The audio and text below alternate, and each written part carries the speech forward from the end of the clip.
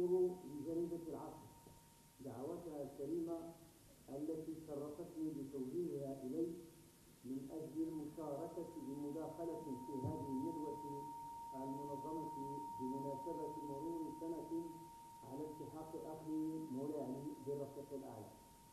أخي الذي هو أحد الرواد التاريخيين للدفاع عن الأقليات الإسلامية في العالم. وأشكرها لأنها خصصت لي محورا في هذه الندوة مولاي الثاني الداعية الإسلامي. وهو تشريف مركب.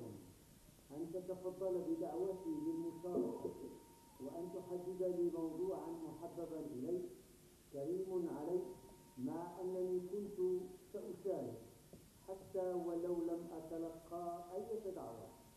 فمن أحق مني بالحديث عن رفيق لي في درب الدفاع عن الأقليات الإسلامية والدعوة الإسلامية بعد الدكتور الخطيب طبعا.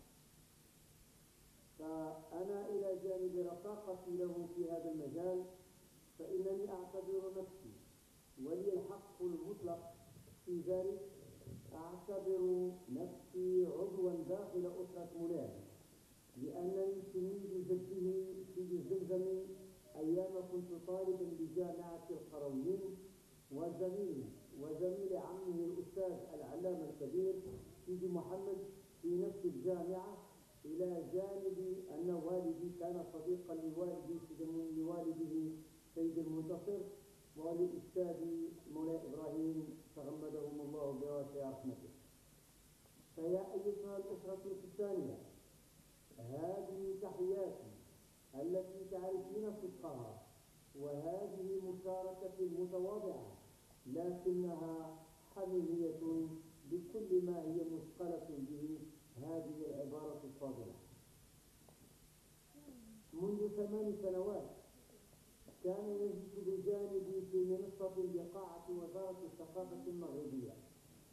ظل مرافقا لي بها ثلاثة أيام بأصباحها وأماسها لقد كان يحضر إلى القاعة وكنت لا أبدأ افتتاح أي جلسة إلا وهو كالنور يجدد المكان بجانبي. كان ذلك بعد أن قضينا حوالي شهرين ونحن نحضر. تحت رئاسة الدكتور عبد الخطيب الندوة لندوة البوسنة والهرسك حيث كنا نطوي عشرات الساعات. يوميا في التحضير والاتصال حتى استطعنا بفضل الله استقطاب رد من العلماء والأساتذة الأجلاء شاركونا بأقلامهم في الندوة كما استطعنا إنجاحها لأن قصدنا كان الدفاع عن شرف الإسلام والمسلمين. وجاء يوم التاسع من أبريل 1994 يوم الافتتاح فاعتبره الذي كان يجلس بجانبي عرسا لكل المسلمين في كل أرجاء أرض الإسلام. وشعرت وكأنه سبقني إلى مخالطة الأقليات الإسلامية مع أنني من الأحياء حتى لحظتنا هذه كنت المغربي السباق لأنني كنت أول طالب مغربي غد الاستقلال السياسي للمغرب تطأ قدماه أرض البوسنة والهرسك. سنة 1957 لأقضي بها زهرة الشباب طالبا ومحاضرا وباحثا وصحفيا ومقدما لأحاديث إذاعية ومكتشفا لأقدم ذخيرة لبلد عربي الذي هو المغرب منذ سنة 1978 في تلكم الديار الفاغمة بأثر الإسلام الحق والصدق الحق والدعوة إلى الله الحق رغم ما عاناه أهلها حتى في زمن بعض الحكام المسلمين الأخار سامحهم الله. لا إله إلا الله الحي الباقي. إنني أحس وكأنه الآن بجانبي. إنه أخي في الله ورسالة الإسلامية الخالدة. إنه مولاي علي الكستاني ولولا أنني أؤمن بأن كل نفس ذائقة الموت وأنه بالفعل قد التحق بالرفيق الأعلى وهو يؤدي رسالته الهادفة إلى إرجاع الإسلام إلى الربوع الأندلسية. لقلت لماذا لا هو لماذا ليس هو بجانبي؟ وما الذي منعه عن حضور هذا العرس الجديد؟ وكان سيد أعراس أعراس الدفاع عن الأقليات الإسلامية الساوية في كل أرجاء أرض الله. أيها المؤمنون أيتها المؤمنات يا أسرة الملاعلي هل غاب حقا عنا إلى الأبد؟ وهل نحن اليوم نكرم ذكراه السنوية الأولى ونجلس هنا بمناسبة غروب نوره عنا وقد طواه رمسه الفاغم برائحته الزكية منذ سنة لا لم يغب ملاعلي عنا وإن كنا نكرم ذكراه ذكرى غيابه ونفتقد من هذا اليوم يوما له ولو أنه أكبر من كل يوم وأكبر من أي شهر وأكبر من أي سنة.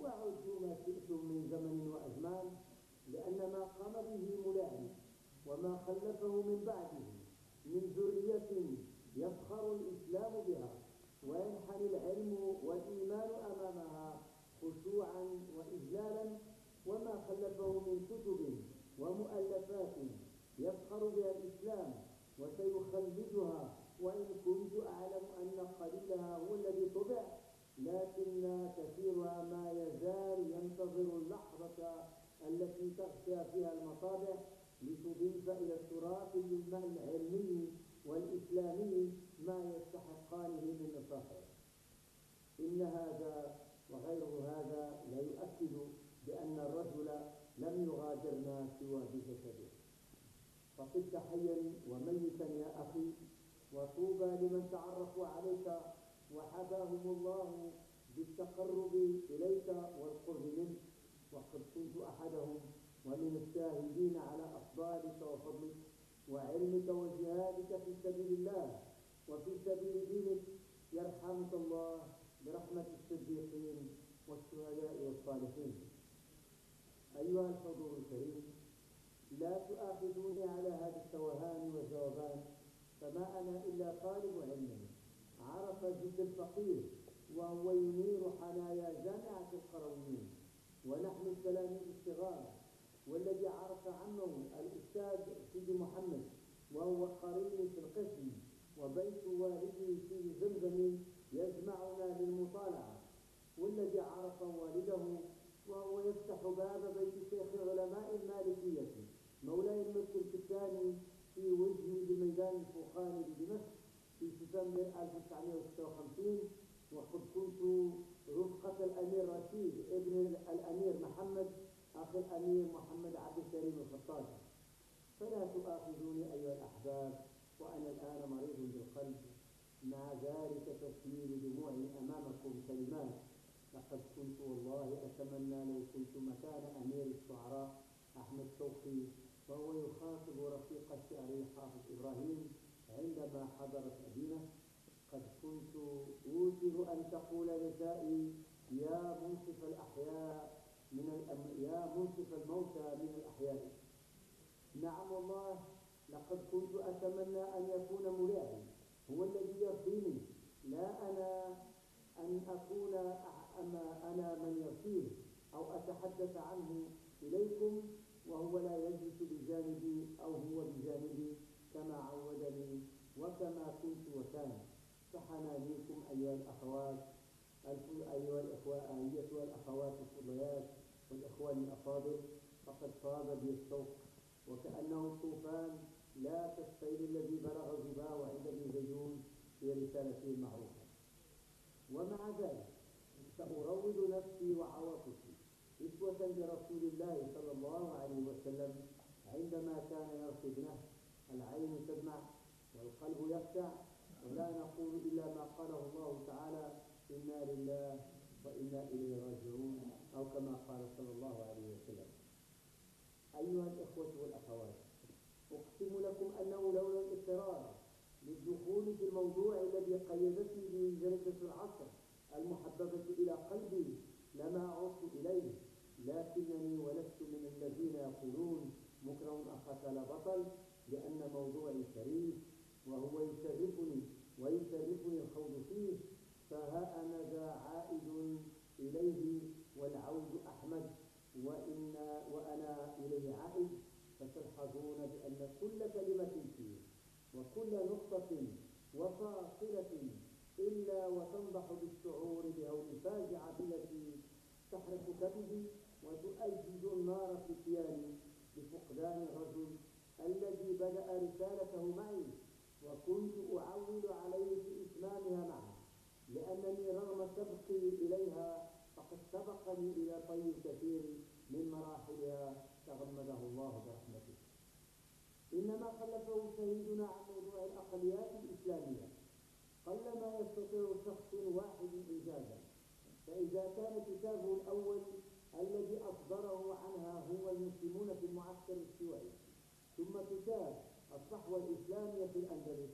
ثم انبعاث الإسلام في الأندلس إضافة إلى مئات الدراسات والمقالات والمحاضرات والمداخلات فإن كتابه أو ملخص كتابه كما قال أستاذنا الدكتور إدريس الثاني الأقليات الإسلامية في العالم اليوم والصادر سنة 1988 سيبقى المرجع الحازم والأساسي لكل من يريد ويقدر على حماية أقلياتنا المسلمة ويرفع من شأنها ويطور أعمالها. لذا اسمحوا لي أن أخصص الحصة الكبرى في مداخلتي لما جاء في هذا الكتاب القيم والذي يذكرني بدستور الطائفة الإسلامية في البوسنة والهرسك الذي ساهمت في ترجمته إلى العربية بمدينة سراييف الشهيدة سنة 1960 قبيل وداعي لتلكم الديار الغالية والذي أعتبره بمثابة المنطلق لكل مشاريع النهوض بالأقليات الإسلامية في العالم.